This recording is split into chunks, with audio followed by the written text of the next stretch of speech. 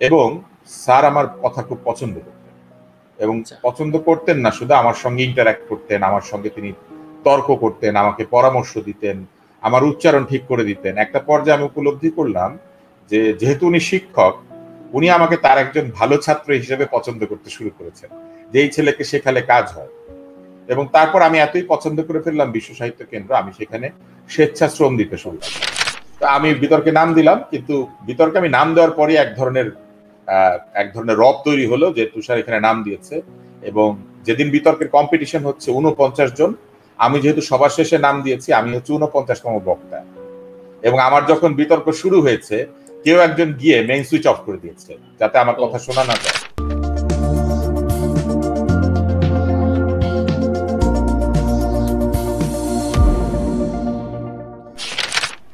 আবদুল্লাহ আবুল সাইদ স্যারের স্ত্রীর সঙ্গে আমার মায়ের যে পরিবার, তাদের একটা যাতায়াত এবং সখ্যতা ছিল।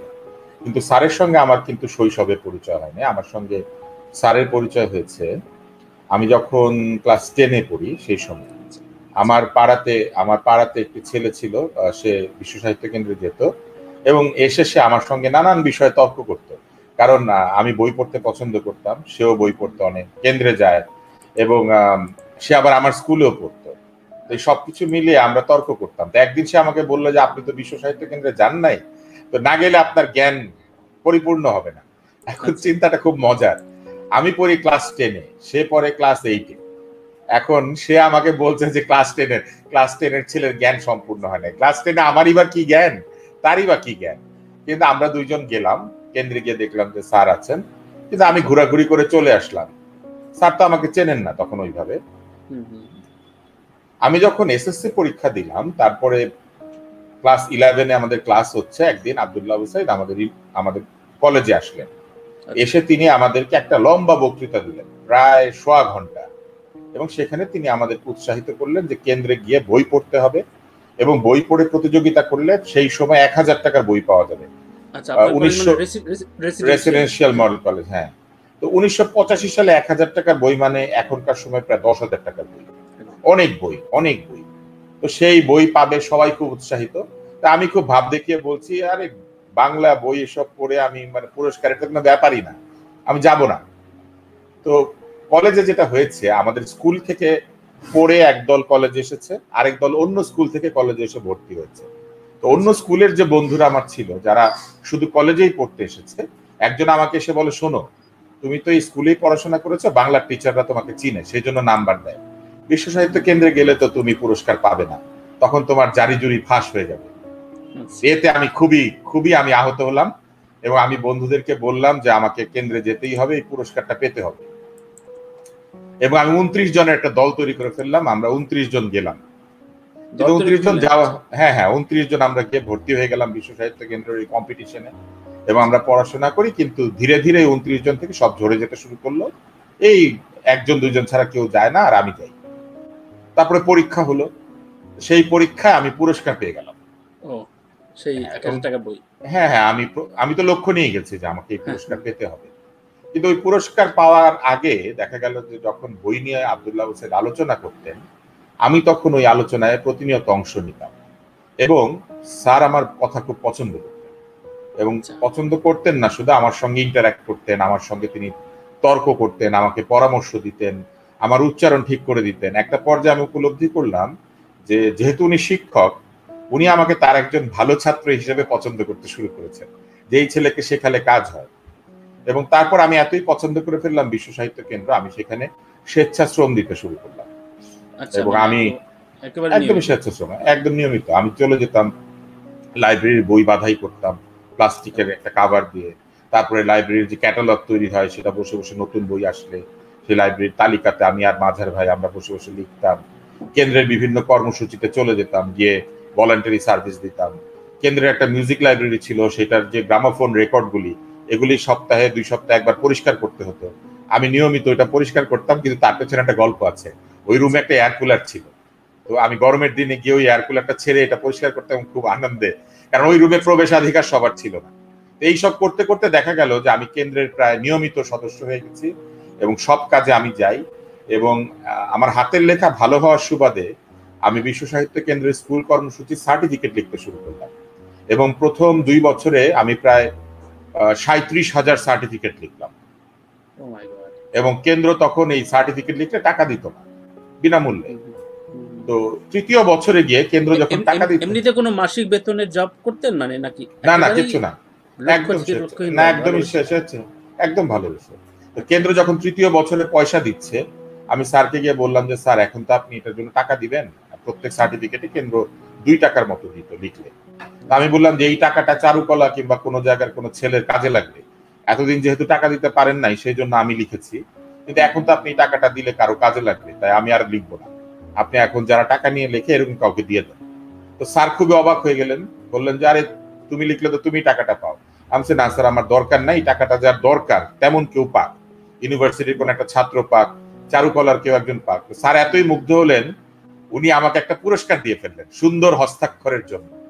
এবং এই সব ছোট ছোট ঘটনার ভিতর দিয়ে দেখা গেল যে সাইদ স্যার আমাকে মানে পছন্দ করতে শুরু করেছে। নিবিড় একটা সম্পর্ক তৈরি হলো। এবং আমি স্যারের সাথে চলে যেতাম। স্যারের একটা পাবলিকা গাড়ি ছিল আমি সেই গাড়িতে উঠে বসতাম। সেইখানে আমরা সাউন্ড বক্স নিতাম ছোট ছোট। এবং আচ্ছা। সেটা নিয়ে আমরা স্কুলে চলে যেতাম। আমি গিয়ে সাউন্ড বক্সগুলো ফিট করতাম।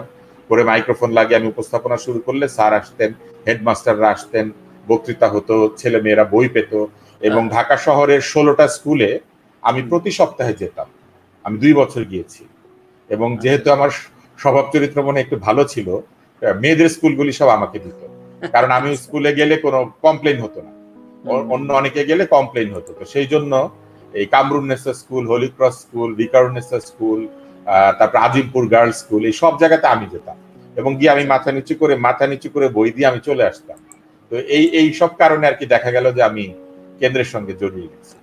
দারুণ, এবং এর পরের ঘটনা তো অনেকেই জানেন। সেক্ষেত্রে তুষার ভাই, বিতর্ক এবং ডিবেট ফেডারেশন থেকে শুরু করে এই যে একু- একীভূত হয়ে এই বিষয়টা নিয়ে উদ্বুদ্ধ করার অন্যতম প্রবক্তা আপনি বাংলাদেশে সেই জায়গা থেকে প্রথম এই ভাবনাটা কীভাবে যোগ হয় আপনার? এই যে যে একটা বিষয় নিয়ে আসলে ডিবেটটা করতে হবে।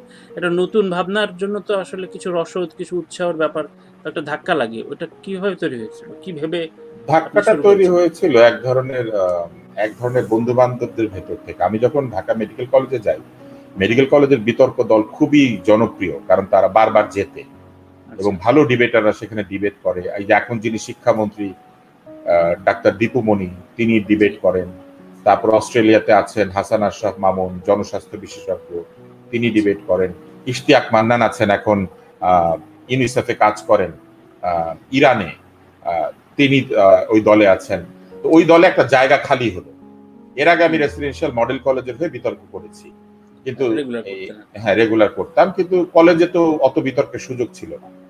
মেডিকেল কলেজে যাওয়ার পর দেখা গেল যে আমরা তো ইউনিভার্সিটি লেভেলে অনেক বিতর্কের প্রতিযোগিতা হয়।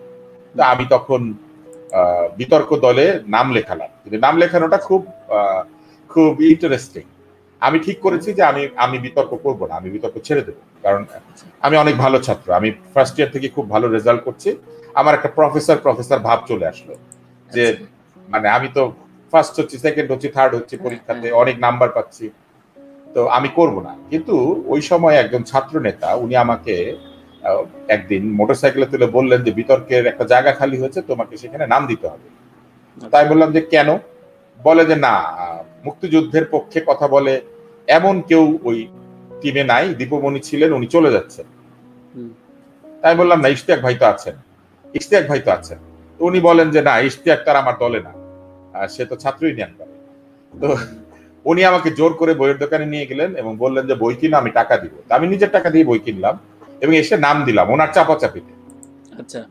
এটাই হচ্ছে এখনকার ছাত্র নেতার সঙ্গে ওই সময় ছাত্র নেতার তফাৎ।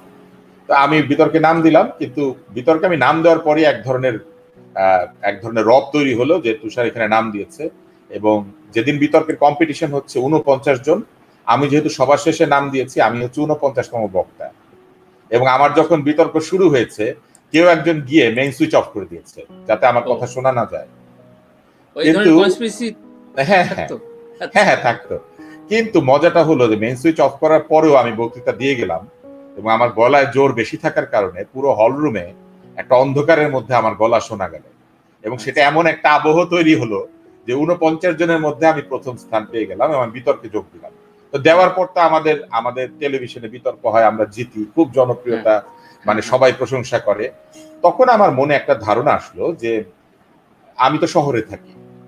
তো শহরে এরকম তো হয় হলিক্রস স্কুলে বিতর্ক হয় নরডেম কলেজে বিতর্ক হয় ঢাকা কলেজে বিতর্ক হয় কিন্তু পঞ্চগড়ে তো হয় না। কিন্তু তেতুলিয়াতে তো হয় না কিন্তু টেকনাফে তো হয় না। তাহলে আমরা কি করতে পারি? কি করলে আমরা সারা দেশে ছেলে মেয়েদেরকে এই কথা বলা সুন্দর উচ্চারণ শেখাতে পারব? তখন আমার কয়েকজন বন্ধু ছিলেন সিনিয়র ভাই সেন্ট গ্রেগরি স্কুলে ছিলেন নিয়ামত এলাহি, তারপরে বিরূপাক্ষ পাল ছিলেন, আমার আমার নিজের স্কুলের, তারপরে ক্যারেট কলেজ থেকে এসেছিলেন আমিনুল হক আমিনুল হক মিঠু, তারপরে বুয়েট থেকে এসেছিলেন সাফকাত রাব্দি ওনার বাবা ফজল রাব্দি গ্রন্থ কেন্দ্রের পরিচালক ছিলেন। এরকম কিছু বন্ধু আমরা সব এক জায়গায় হয়ে গেলাম, এবং কিছু জুনিয়র তখন আমরা ঠিক করলাম যে আমরা একটা অর্গানাইজেশন বানাবো, বাংলাদেশ ডিবেট ফেডারেশন সেটা সভাপতি হবেন বিরূপাক্ষ পাল। এবং আমরা এই সারা দেশে বিতর্ক শিক্ষা দিব। তো প্রথমে আমি সেই সেই অর্গানাইজেশনের ছোট তো আমি তখন। আমি দপ্তর সম্পাদক হলাম। কিন্তু কিছুদিন পরে নিয়ামত এলাহি পদত্যাগ করলেন। কারণ তিনি বিদেশ চলে যাবেন এবং তিনি রাজনীতি করতেন গভীর রাজনীতি করতেন। উনি বললেন যে না আমি এটা করব না। তখন সবাই মিলে আমাকে জেনারেল সেক্রেটারি বানিয়ে দিল। এই সাত আট মাস এক বছরের মধ্যেই। আগ্রহটা ছিল না ওইভাবে না আগ্রহ ছিল কারণ আমি তো তখন সারা দেশে বিতর্ক শেখাবো।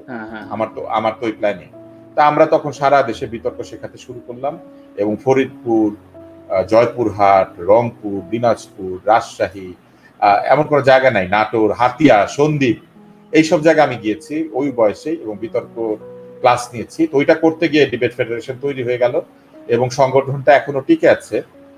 সংগঠনে তিরিশ বছর হয়েছে এই বছর। আচ্ছা তো সেক্ষেত্রে বাউবিতে তো অনেক বছর পরে মূলত বিটিভির দরজার চৌকাট পেরোনো। সেই জায়গা থেকে যদি বলি যে আপনার কি মনে হয় সে আপনার সময়কার যে তারুণ্য যে প্রাণোদ্দীপ্ত হয়ে বিভিন্ন জেলায় বা মফসলে যেতেন এখন সেই কালারটা আছে? আমরা তো মনে করি অনেকটা ম্রিয়মান হয়েছে এই এই ডিজিটাল ভার্সনের ইয়াংদের ভেতরে। চর্চাটা? তরুণরা এখনও বিতর্ক করে কিন্তু মুশকিল যেটা হয়েছে যে বিতর্কে এখন প্রচুর স্পন্সর আসে বিতর্কের অনুষ্ঠানগুলি অনেক বেশি ইভেন্টের মতো হয়ে গেছে অনেক ভালো খাওয়া দাওয়া হয় পোলাও কোরমা থাকে ভালো সুভেনির থাকে সুন্দর গিফট থাকে ভালো পুরস্কার থাকে ফলে বিতর্কের যে মূল জায়গাটা বিতর্কে ভালো করা তার চাইতে অনেক বেশি অর্গানাইজাররা জোর দেয় হচ্ছে ইভেন্টে এবং আমার কাছে মনে হয় এই জন্য একটু ক্ষতিগ্রস্ত হয়েছে এটা একটা। আর দ্বিতীয় হচ্ছে, এখন মানুষ পয়সা ছাড়া কাজ করতে খুব একটা স্বাচ্ছন্দ্য বোধ করে না। আমরা যেমন বিনা পয়সায় চলে যেতাম, টাকা কেউ দিবে কিংবা আমরা কোনো কিছু পাবো, এই চিন্তা আমাদের মাথায় ছিল না। কিন্তু এখন কোথাও যাওয়ার আগে জিজ্ঞেস করে, আমি কোথায় থাকব, কি খাব, কোন হোটেলে যাচ্ছি, প্লেনে যাচ্ছি না, বাসে যাচ্ছি, এই এই জিজ্ঞাসা আমরা কখনো করতাম না। আমাদেরকে যেটা দিত সেটা দিয়ে। থার্ড ক্লাসের বগিতে চড়ে চলে গেছি কিন্তু ট্রেনে কিংবা আমি, আমার মনে আছে ট্রলারে করে আমি ইয়েতে গিয়েছি হাতিয়া। এবং সেই ট্রলার এত ভয়ঙ্কর আমি এইখান থেকে নোয়াখালী চলে গেছি গিয়ে সেই ফেনি পার হয়ে একটা জায়গা সেইখান থেকে আমি মেঘনা নদীর মোহনা দিয়ে এই আমি হাতিয়ার দিকে রওনা দিয়েছি সম্ভবত এটা মেঘনা নদী। এবং এই ট্রলারে ওঠার পরে আমি এই ট্রলার উঠে যাচ্ছে প্রায় দুই তিন তালা উঁচুতে আবার নিচের দিকে নেমে আসছে। এবং আমি পুরো পথটা চোখ বন্ধ করে আমি গেছি এবং সেইখানে সেই জায়গা থেকে ধর প্রান্তিক প্রান্তিক তরুণরা আপনারা যখন ঢাকা থেকে যেতেন তখন তাদের ভেতরে স্বপ্নের জায়গাটা কি হতো? হোপ কি দিতেন যে এটা থাকে না যে এইটা করলে তুমি এই জায়গায় এই সিঁড়িটা বাইতে পারবা?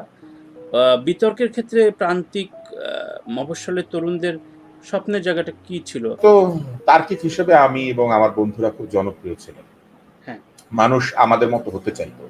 ওই সময় না শুধু এখনও কিন্তু বিতর্কের অনুষ্ঠান বেশ জনপ্রিয়। এইটা একটা। দ্বিতীয় হচ্ছে, আমরা কিন্তু আসলে চাকরি বাকরি লোভ দেখাতাম না। আমাদের মূল কথাটা ছিল যে, তুমি যদি সুন্দর করে কথা বলতে পারো, তুমি বন্ধু পাবে।